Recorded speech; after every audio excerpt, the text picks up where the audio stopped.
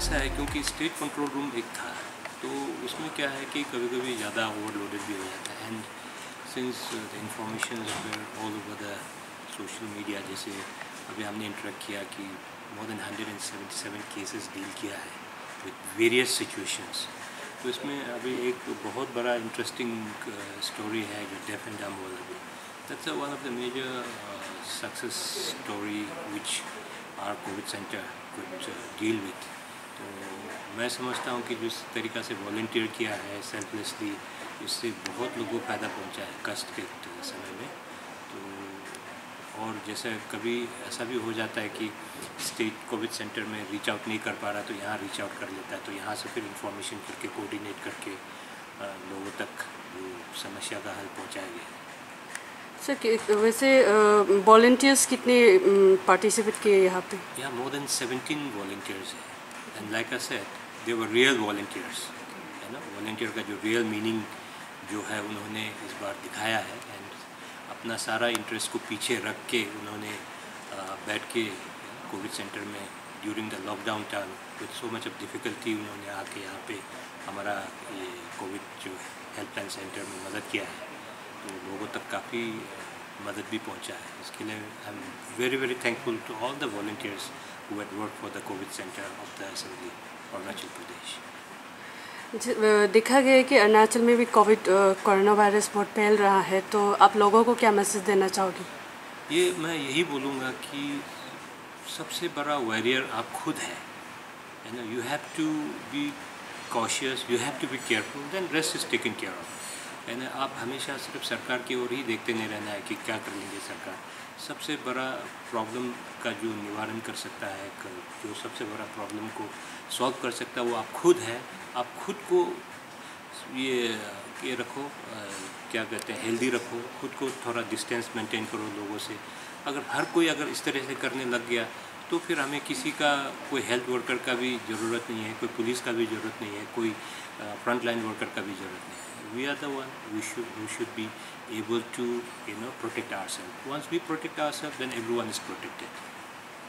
ने हमें ये बिलीव किया कि बहुत अच्छा काम किया उन लोगों ने और वॉल्टियर्स अपना आपको समर्पित करके लोग के लिए काम करना ये बहुत बड़ा बात है और इसी फ़र्स्ट में कोविड नाइन्टीन जब ऐसा बीमारियाँ फैलाए सुने तो बहुत लोग डर था बहुत लोग मतलब पैनिक था पर भी उन लोगों ने अपना आपको आगे ले आया और हाथ बढ़ाए कि हम लोग के लिए काम करेंगे।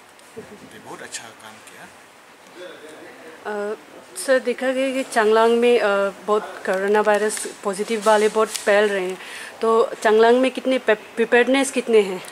देखिए चांगलांग में आ, जो आप लोग आप बोला ठीक ही है चांगलांग डिस्ट्रिक्ट है लेकिन ये मेयो डायुन बोडुमसा उस इंडस्ट्रियल सर्कल में ज़्यादा हुआ है।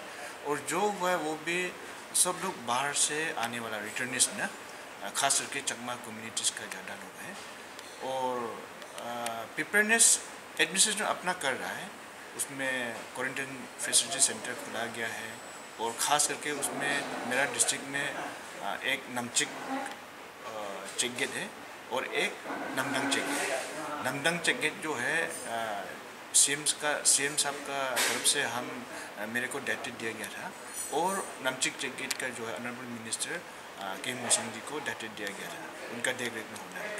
तो मैं भी एक बार मेयो खरसंग जा करके आया और नमचिक जैकेट पर भी जा करके आया।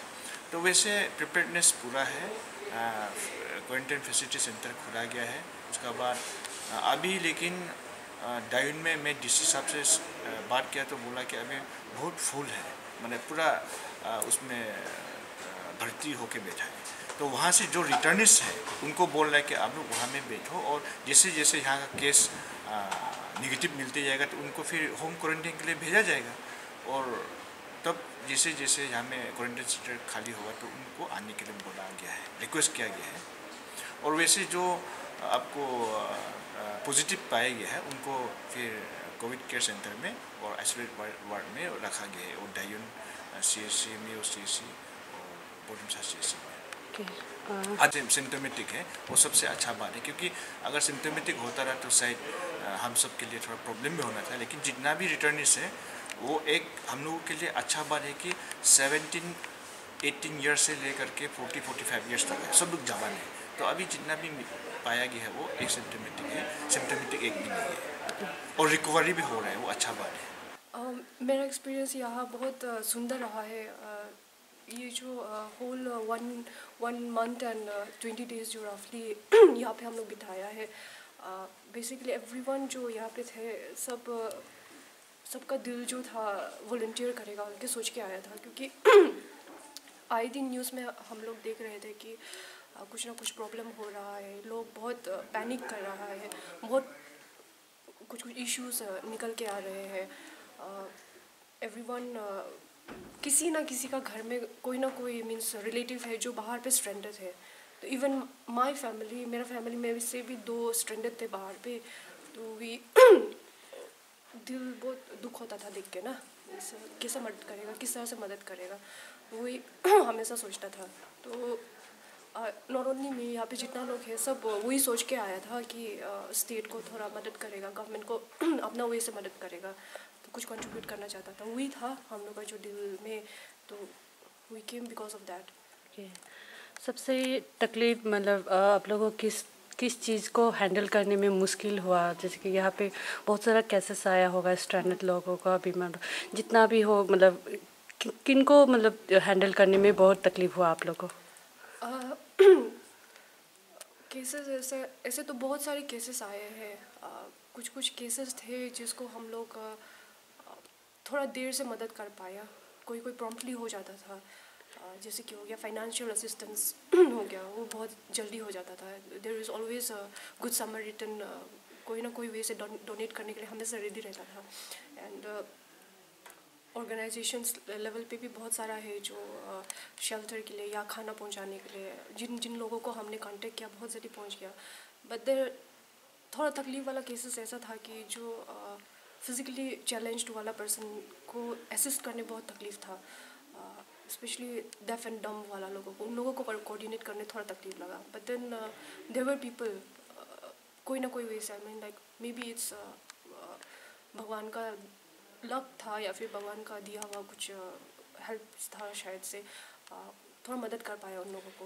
लाइक like, uh, कोई ना कोई वर्डन आ जाता है या फिर there is some forces behind उन लोगों को मदद करने आ जाता था।